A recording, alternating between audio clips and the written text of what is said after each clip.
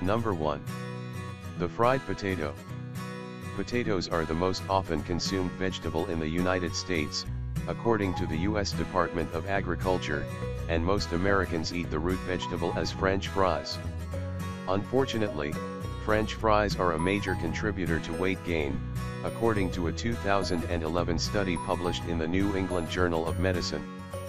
This study looked at foods most often associated with weight gain and found that people who regularly ate French fries gained a little more than 3 pounds over a 4-year period. Potato chips aren't much better, adding about 1.5 pounds in the same time frame. Instead of French fries and chips, consider other veggie options, such as roasted carrots, baked sweet potato fries or kale chips, on your weight loss plan. Number 2. Skip the soda to lose weight.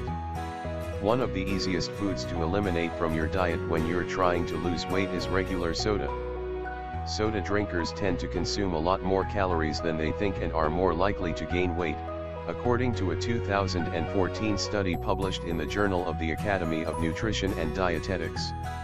A can of soda has 150 calories and 40 grams of sugar, and it offers no nutritional value whatsoever.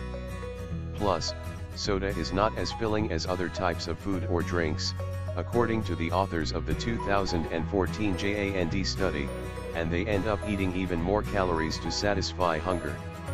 Instead of soda, drink water with a spritz of lemon or lime on your weight loss diet. Or, if you need a little sweetness, mix seltzer water with 100% fruit juice to create a lower calorie fizzy beverage.